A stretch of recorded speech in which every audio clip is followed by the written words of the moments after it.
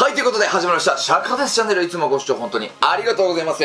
僕、神と人間のハーフ、その名も、シャカです。ということで、今回なんですけども、GU で1万円コーデ、ブーかっこ、モテるファッション。今までね、ファッションで言うと、1000円の古着ユニクロ、島村、H&M もやってますからね、今回はやってない GU。男性の方はですね、参考にしていただければなと思います。そして女性の方は、これが果たして男性が着ててモテるのか、コメント欄の方で教えてもらえるといいなと思うんで、早速、行ってみましょうはい買ってきました紹介していきましょう。えー私はですね、買い物とかをするときにですね、かなりあの、女性みたくね、時間がかかるタイプなんですけどもね、でも今回は最速です。なんと5分かかってないんじゃないかなと。はい、早速行ってみましょう。開けてみます。ファッションは軸を決める。さあ、軸は何なのか。こちらです。ポンチネックモックシャツ、黒でね、地味じゃないと思うんですけどね、この後が大事です。はい、軸はこれ。ということで、上が決まったんで、次は下を決めていきましょう。こちら、テーパードトラウザー。スーツっぽいやつですね。じゃあ、これに合う上は何だと。こちらです。テーラードジャケット。いいですねスーツスタイルということですけどもねここまで見てうーんちょっとイメージがわからんスーツかと思ってる方着替えたらわかりますお着替えタイム開始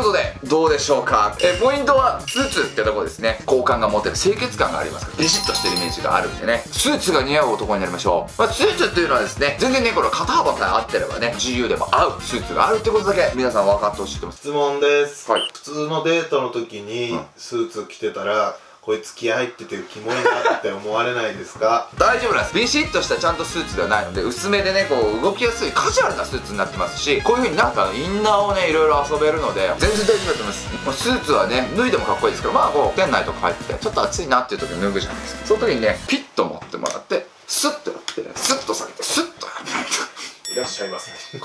もうねこれを購入したきっかけっていうのがですねいろいろ見てたらねビビッと入ってきてマネキンが来てたんでそのまま買わせていただきました。マネキンじゃねえか。多分ね、僕のイメージがマネキン来てたんだと思います、たまたま。パクりやがって。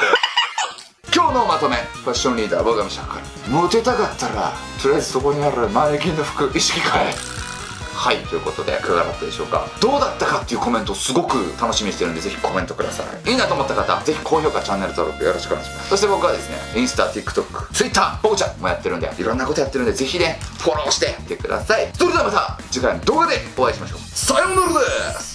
釈迦です。シャカリキシャカシャカシャカです。釈迦です。お姫様たちよろしく。よろしくですシャカリキシャカシャカシャカです。あなたと未来仕上げてゆきたい。シャカリキシャカシャカシャカでです。す寝る前いつもよろしく。どうもです。シャカリキシャカシャカシャカですあなたと未来仕上げてゆきたい。シャクで